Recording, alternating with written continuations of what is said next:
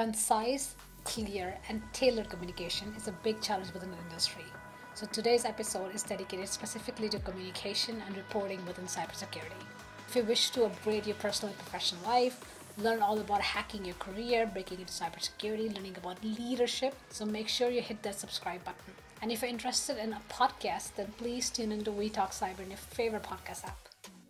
This is Monica and welcome to my YouTube channel, Monica Talks Cyber, and let's get growing.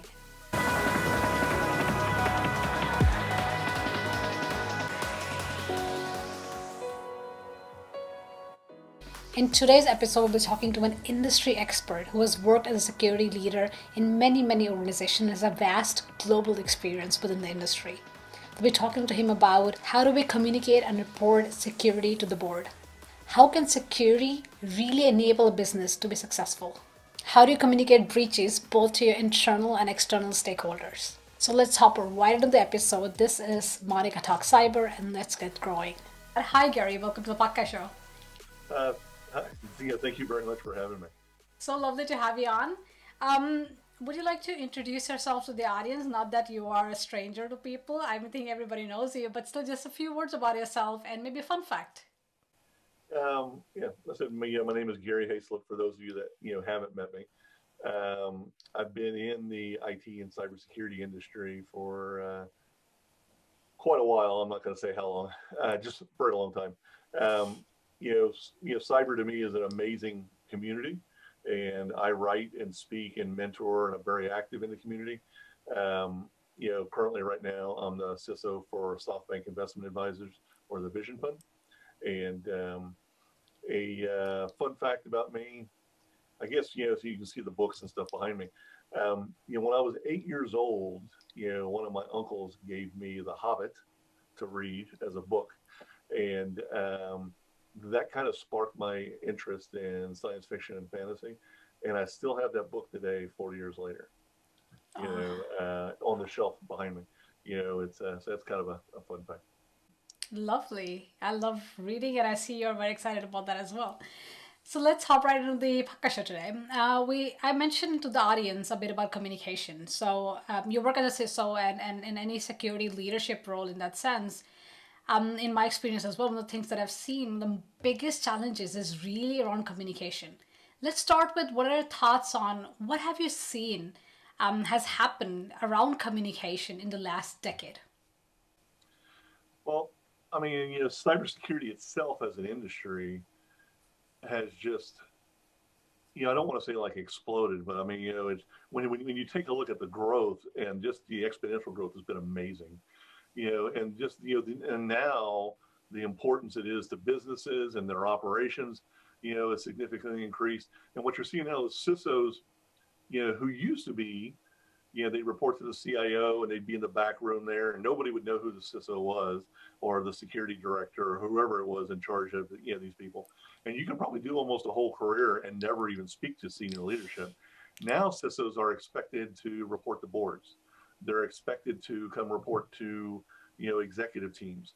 Um, and that's a whole different audience than what CISOs traditionally grew up to reporting to. Um, it's a different set of knowledge and information that that audience wants compared to you know a technical audience that you typically talk to you know when you're a CISO um, and so the ability to be able to communicate and explain not just the risk the current risk of the company but the resources that you may need and the value that the security program is bringing um, because again you don't make money for the business you know so it's like okay so what do you bring you know, all of these things have really started to become extremely important.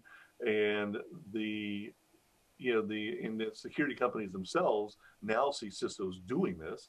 They now see CISOs reporting up to corporate leadership, and you find that even their messages focused towards CISOs now are all about that message, all about you know reporting up. And I've gotten kind of cynical about it because you know I raised the BS flag on a lot of the crap that they're saying but it's now part of the job. I mean, it's now you're you're a business executive managing risk through technology and people and processes and the security stack is really what we've become.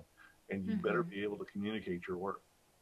Yeah, and you say one very interesting fact here, which is that how do they communicate that they provide value? Because it's obviously uh, Well, you're not you're not bringing the money in.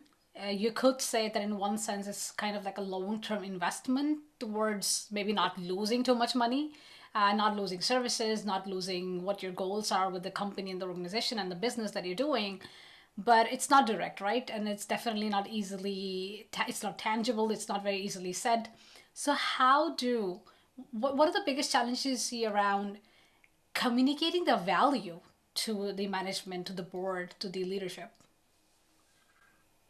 Well, I mean, when you really think about it, I mean, some of the biggest challenges you have as a security executive are you're trying to protect the business, you know, its operations from a future state issue.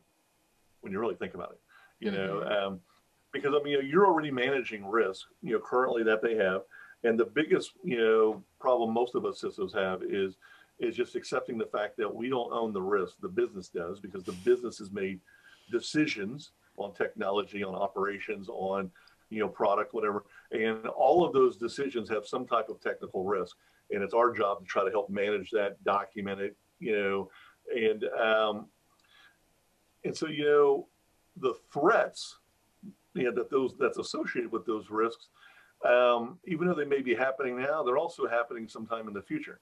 And so, you know, in your discussions, you're trying to go ahead, especially with executive teams, you're trying to discuss you know, with them how you're reducing these risks or how you're mitigating these threats. And sometimes it's really hard to grasp because unless you just recently had a breach, you know, you're trying to explain to this audience something that might happen. You know, and it's it's almost like selling car insurance. You might have a wreck sometime in the future. You know, it's you know you need the insurance, you know, because you definitely don't want to be without it when you do have that wreck sometime in the future. But it's like you know, it's it's it is. I mean, it's very hard. I mean, like for a CIO, they can point to hey, they're keeping their email up now. They're you know they're keeping the e-commerce portal up. They're providing new collaboration services like Zoom or Slack. You know, they're assisting the business units because they're doing something daily that mm-hmm. helps those teams drive revenue that's concrete, that's immediate. You can point to it. Um, where a lot of the things that the CISOs are doing, you know, you need it, but nothing's happening at the moment. You know, so we must be safe. So why don't we got to pay for it? You know, and you're like, you're like, ah, you know, so you, you, you find that you're in this vicious loop at times, and you're constantly having to make the, um, you know, the basically the, you're constantly having to make the case of what value you bring. And and I actually I actually talk a lot of times when I talk with executive teams, I talk about okay, I don't bring you revenue, but I enhance your teams. I help your teams be successful so they can be innovative, go out, make us money, go out, come up with new products, but they're doing it safely. And mm-hmm. the intellectual property they create is protected. The third party connections we have, the suppliers and partners and everything is protected. You know, and so I enable them to be successful through you know, the services that I'm providing. And so I try to mm-hmm. talk to it in a business way that way because it is it's, it's extremely hard. The you know it's like you're trying to say we're going to protect you from the boogeyman for something that's going to happen sometime in the future. Mm-hmm. Those discussions don't go very well. I mean, you can have the you know the fear, uncertainty, doubt, the FUD discussion once, and after that, they, they're just going to blow you off. You have to bring the business reasons why, mm-hmm. you know, why you're needed. Mm-hmm. And you mentioned something very interesting here with the example of car insurance. And when you look at the car insurance, right? I mean, that industry is obviously matured. Um, people don't really question today why. And also, the thing is that third party liability is mandatory car insurance you need to have before you can even legally drive on the road, at least in most of the yeah. countries in the world, right? Um, how do you think that relates to the cybersecurity industry? Because if I think about it, one of the things that I understand, if if, if you want to take that analogy of, of mandating somebody to do something, right? You must have a third party liability insurance at least before you can drive legally. Um, obviously, we have the regulations, right? The GDPR and all these regulatory things that come in, which help um, enhance or, or, or ask from a more regulatory perspective what you need to do to protect the data, to protect the customer's data, and so on.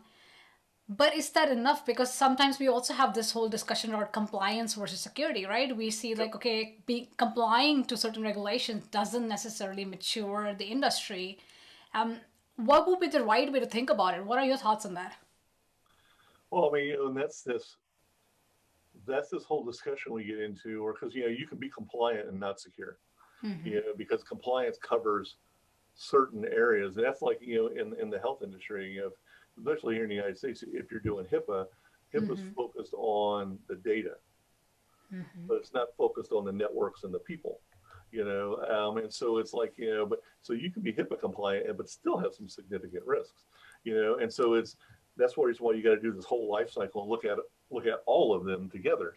You know, um, you know, so when I when I use the ana- you know the analogy dealing with um, you know dealing with uh, insurance, I'm trying to get them to you know to think that you know most people today would never even think about driving their vehicle without insurance. You know, and Absolutely. would- and honestly, I, I would love to get to the point to where most businesses today would not even think about operating without some type of security. You know, and of course the issue is is you know you you know you got to think okay if we're in Europe should it be ISO and if you're in the United States should it be NIST but what happens if you're in EMEA should it be a mixture of the two? I mean I I found you know uh, some companies in you know over in Asia use NIST you know and some use you know ISO because they deal with the EU a lot. I don't know it's just um, I don't really care as long as they're using some type of standard. They're putting some type of Mhm. security in place. They're looking to go ahead and have a methodology with somebody leading a team to go ahead and manage that risk. You know, and should that be a you know basic criteria that you have this? You know, if you're going to operate as a business, of course, the discussion always comes down to okay, well, who's going to enforce that? Is it going to be the government? Is it going to be you know some type of regulatory body? You know, you've got regulatory bodies. You know, if you're dealing with medical data, you got regulatory bodies on the financial side Mhm. um, should there just be a regulatory body for all business? You know, um, I mean, I can hear some companies going like, "Oh crap, that'd be like I'd be dealing with three or four different regulatory bodies by then."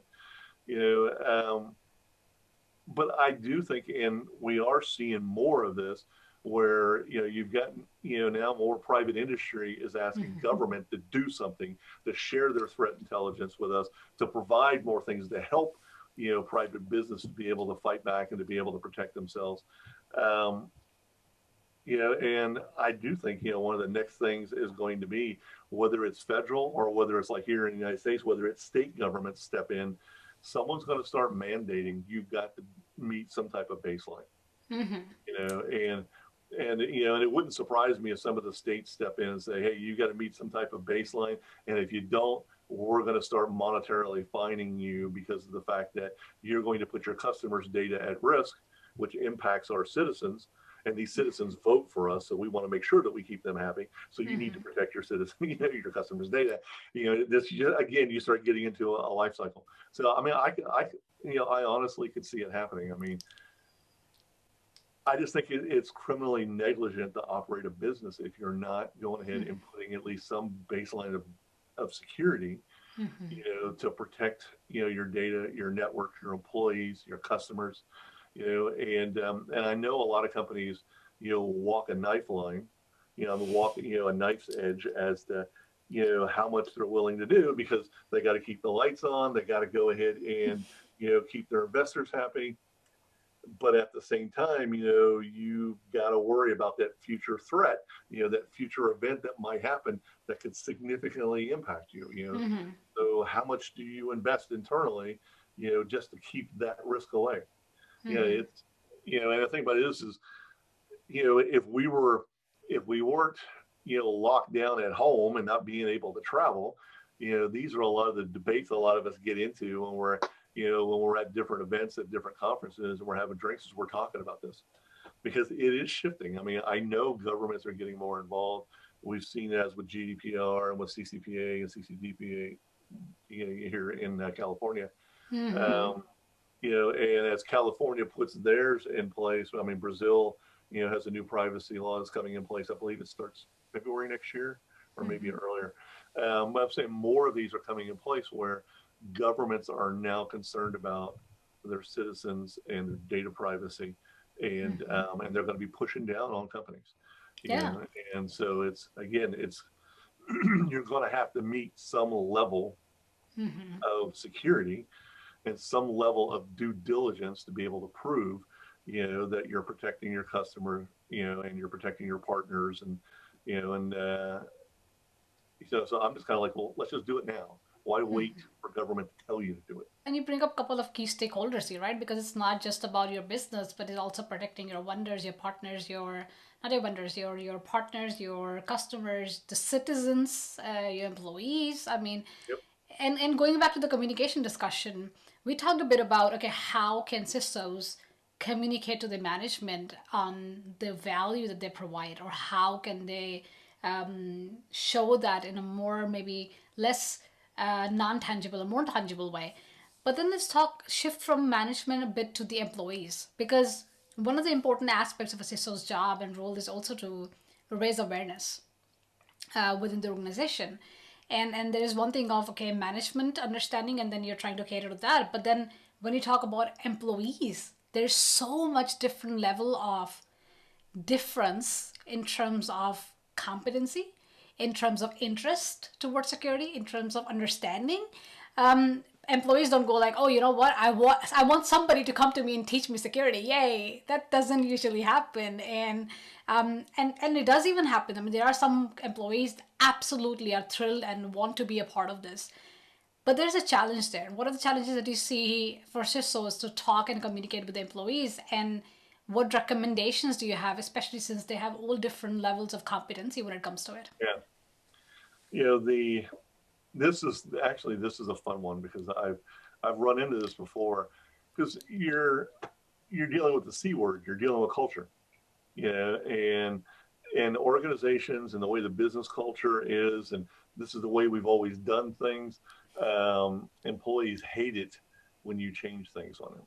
You know because they've got a way that they're used to doing it every day when they come into work you know this is the method and this is the process we've always used you know and security teams tend to be change you know change agents that piss everybody off you know because you're all of a sudden coming in and saying no you know we got new security controls you know we've got these new threats we're updating this we're putting you know and um, you know the way i have found to get around the pushback and to get around you know the shadow IT and people figuring out ways to get you know to not listen to you and do what they want to do is um, you got to spend time with them. You know, you've got to go ahead and build trust. And the problem is that takes time. You know, mm-hmm. um, you got to be patient. You know, um, you know, it's almost like herding cats. They're running all over the place, and you just got to kind of generally move them in the area, and just slowly over time, you get to where you're going to go. Um, you know, what I've done, you know, in, in in previous roles and in the current role that I'm in is you know, you can do lunch and learns, you can do blogs, you can do, um, you know, funny videos, you can do all, you know, uh, you can do a little uh, training, you know, virginettes that you send out, you know, um, and what you want to do is, you know, the biggest thing I've learned is, um, especially over the lunch and learns, a lot of times if I do a lunch and learn with, you know, I'll go by departments or I'll do the whole organization as a whole, is um, I spend time just explaining what we're doing. Mm-hmm. You know, hey, this isn't just me. This is my whole security team. I have them meet everybody so they know who everybody is. You know, we're not a mystery. Um, they know what projects we're working on and why. You mm-hmm. know, and what the value of these things are. You know, what we're supposed to do with them. Um, I share threat information. You know, hey, these are the kind of threats and stuff we're dealing with. This is how much malware we're blocking. These are the types of phishing attacks we've seen recently. I may bring up four or five different, you know, phishing emails that we've recently blocked so they can see you know, hey, you know, you know, Bob over here in finance got that email, and oh, okay, so that's how you were able to tell that it was a phishing email, you know, mm-hmm. and um, you know, I, I kind of walked them through the, you know, the thinking of a cyber criminal and how these tools are used and what they're trying to do, and then this is what how we're trying to block it and what we're trying to prevent.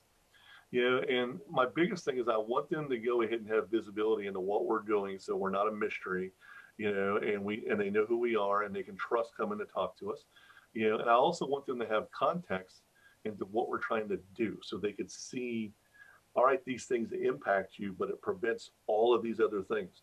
And what I what I do a lot of is when I teach them about how to watch for phishing email, or when I teach them how to, you know, surf the internet, you know, safely, or how to make sure that their cell phone is secure and they do updates mm-hmm. and stuff like that I always relate to home. I always relate to this is how you can protect your children at home. This mm-hmm. is how you mm-hmm. protect your children's laptop. This is how you can also protect your children's phones. You know, and I explained to them that I want to make sure your family is safe because there's times where you're going to work from home, and then when you bring stuff back into work, you may bring that back in with you. And if your you know your home network's infected, then you just infected the work network. You know, and of course now we all work from home, so now I've got you know a whole bunch of networks that are you know, that we're looking at. But it's it's that it's that type of training where you know, I try to provide the context and relate it to family, relate it to how it can be used outside of work, mm-hmm. you know, and so when you educate them, you make them, I look at it, you kind of actually help help them become better digital citizens in a way, you know, and they're not scared. They're not mm-hmm. scared of IT. They're not scared of the technology. They know who to report to. They know, you know, and I explained to them, I said, you know, this is cybersecurity. Everybody screws up. Everybody mm-hmm. makes a mistake. Even my own people make mistakes. And they know I don't have a problem with it. You report it. We figure out how to fix it, go on about our business. We learn from it. The issue I have is if you lie about it or if you don't tell anybody about mm-hmm. it and then it becomes a full incident, then we're going to have problems. I would much rather you just go ahead and tell us so we can, you know, fix the issue, figure out what happened, learn from it, and we go on about our business.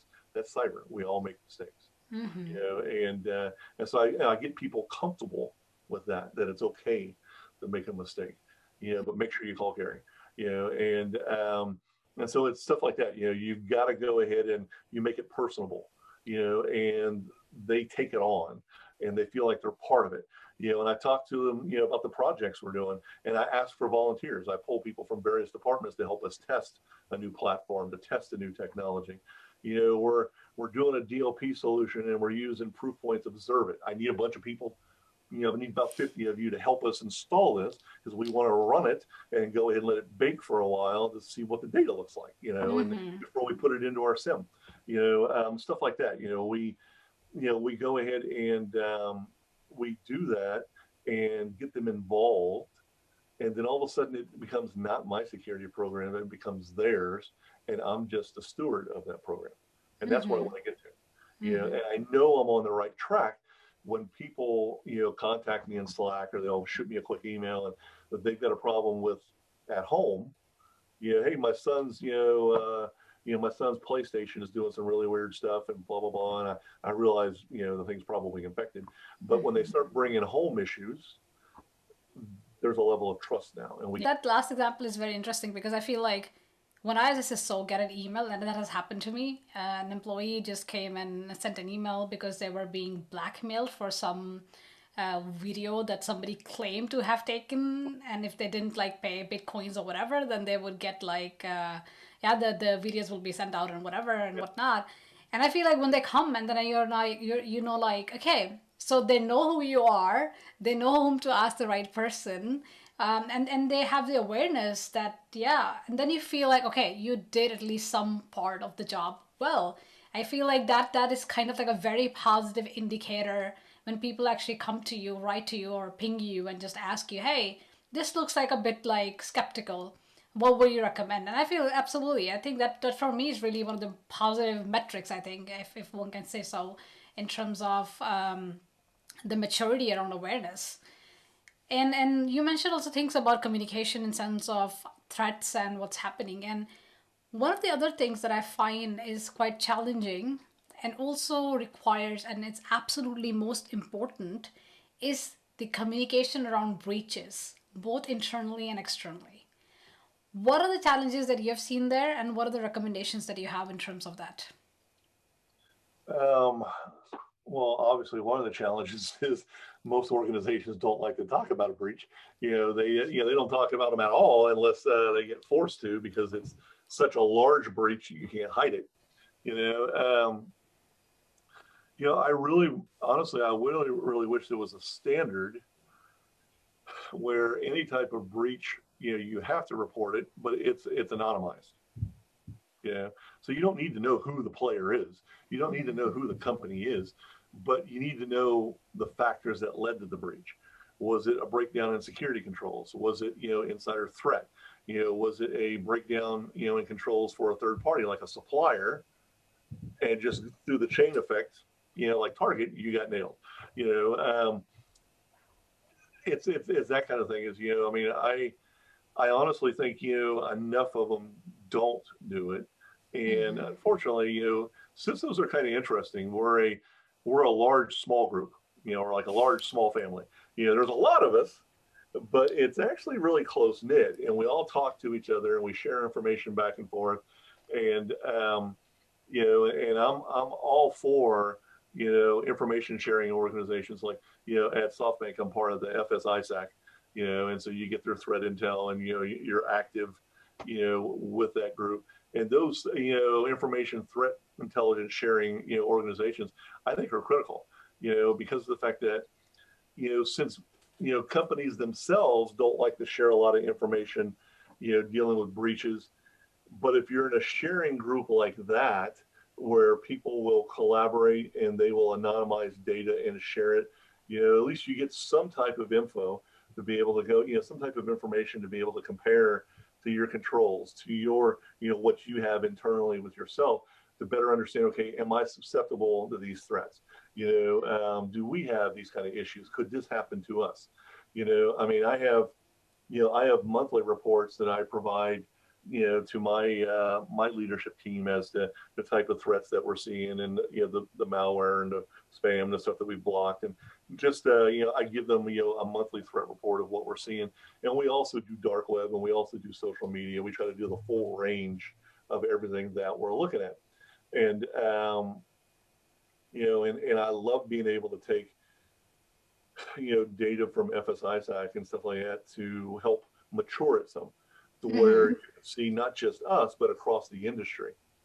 Because, you know, most executives, they're like, okay, you know, they want one of the first things they usually ask is, you know, just how secure are we? Or how mm-hmm. at risk are we? Now, the next question they ask is, okay, now, how do we compare to our peers, to the industry, to our competitors? You know, and so it's that type of data that's hard to come by, you know, because companies don't share it. You know, and so it's you know, being, you know, members of, you know, information sharing organizations like that, if you can get that kind of data, it provides maturity. Mm-hmm. It really helps you understand better where your business and your security program is along its growth path. Mm-hmm. You know, and it also helps you understand, you know, if there's you may need to pivot, you may need to change the stack. You know, you may be looking at things differently. I mean, uh, where I'm currently at, my stack is extremely different than mm-hmm. what it was mm-hmm. like um, in my previous role mm-hmm. because my organization is full cloud. I have nothing on prem. You know, I don't own any data centers. It's full 100% SaaS. It's full cloud. Very different than my previous organization where we owned nine different dev teams and we had stuff everywhere. You know, it was, uh, you know, and that's what I'm saying is that, you know, the maturity of a company and the you know the security stack that's protecting you know that company each of them's different each of them changes mm-hmm.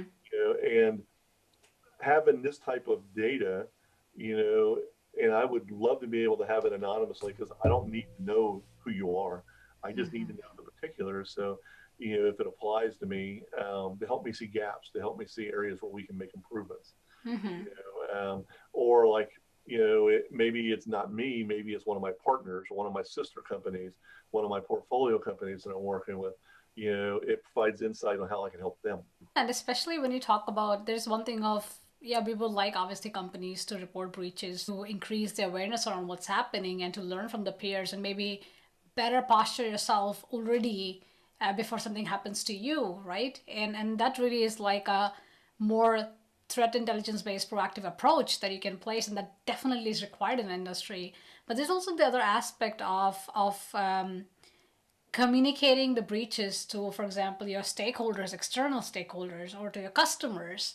What are the challenges that you've seen there? Because there's it's not anymore just about whether you wish to or not. There is a legal obligation. There is some ethics yeah. behind it. And there are a lot of other aspects here.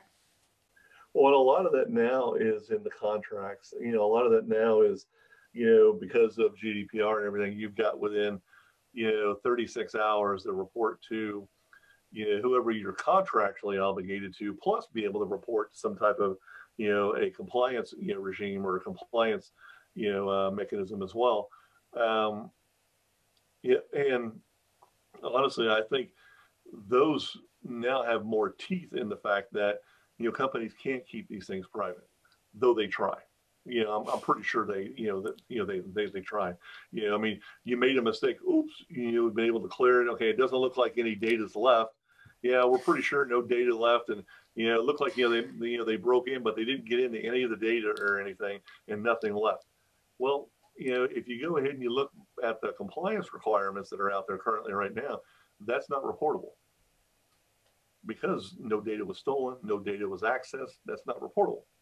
You know, should it be reported, even anonymously? Maybe. I mean, there's there's a lot of you know, uh, you know again, I, I, I can hear legal teams freaking out on this, you know, but for from a CISO point of view, you know, I just want the particulars. I don't care about the company. I just want to know what was the method that was used. How did they get in? Was yeah, what were the indicators of compromise, just to even yeah. get that understanding? Because I, I want to know. I mean, you know, was it a you know a phishing email, which it probably was. You know, uh, you know, I doubt it was something extremely exotic. You know, usually it's something really simple to happen. You know, um, I mean, you want to know these things because then it's like you know when I'm talking again when you're communicating with executive teams it's the simple things that bite you in the butt that you mm-hmm. because you know and, and i explain this a lot of times to leadership in that um, cybersecurity is this this um, you know this continuous methodology of having to go ahead and do things over and over and over again.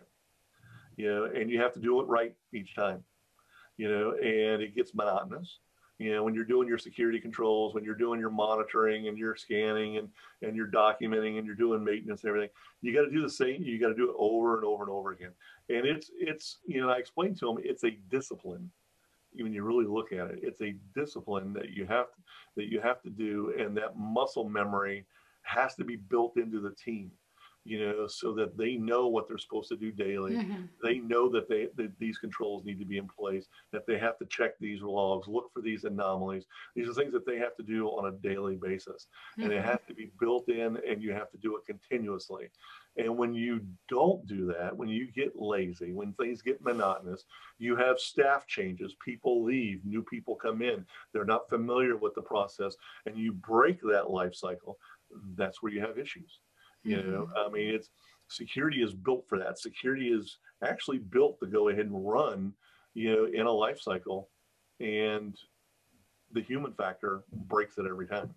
You know, it's you know we unfortunately we do, and that's that's why we go to you got to go back and start again. You know, mm-hmm. and it's you know, and it is and it's it's continuous, and it, it's a hard thing to get you know leadership to understand that you know hey, it's almost like raising a child you know, after you've had the child, hey, you've now got to feed it. You got to put diapers on it. As the kid starts growing, they got to go to school. They before you know it, you got to buy them a car and you're sending them to college. You know, they're, they're going to be your kid for the rest of your life. You know, then you're always going to be, you know, doing something to go ahead and take care of your child.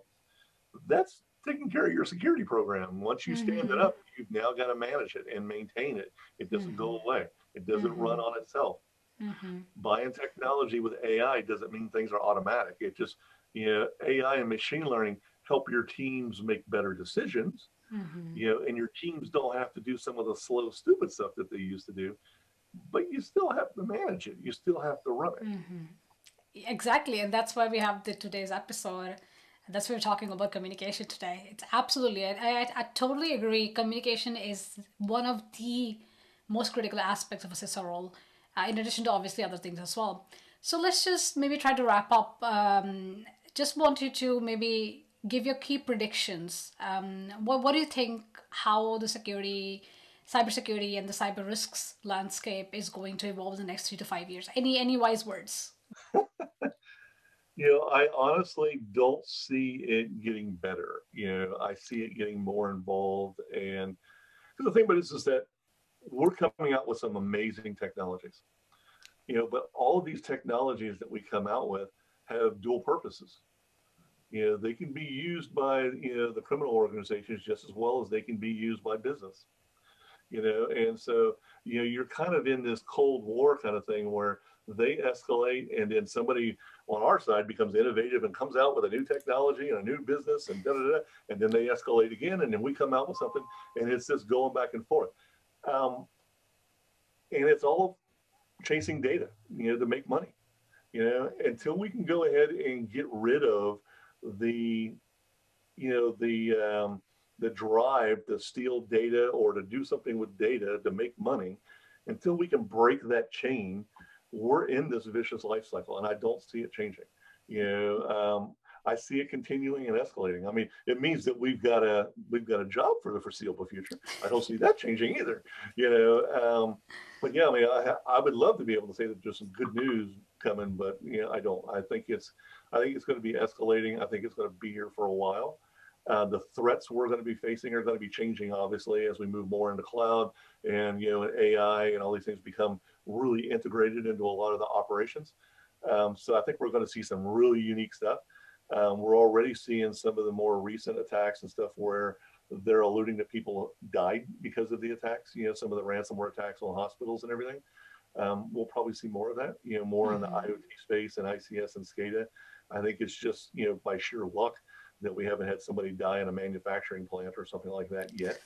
Yeah, but these but, are not any more unrealistic scenarios. So. No, they're not. You know, and that's where I think we're going. I mean, I, I don't. Um, I'm, you know, I'm not like screaming, you know, oh, the sky's falling, but you know, there's issues, you know, and I, um, and I think you know the biggest thing is is that government's not going to solve it, and private industry is not going to solve it. However, all of us together, if mm-hmm. we can mm-hmm. talk to each other and share information with each other, can go ahead and make a dent in it. You know, um, so yeah, it's going to be busy. I'm, I'm, and to me, I'm excited in many ways because I'm fascinated by it you know, and so it's, yeah, we shall see.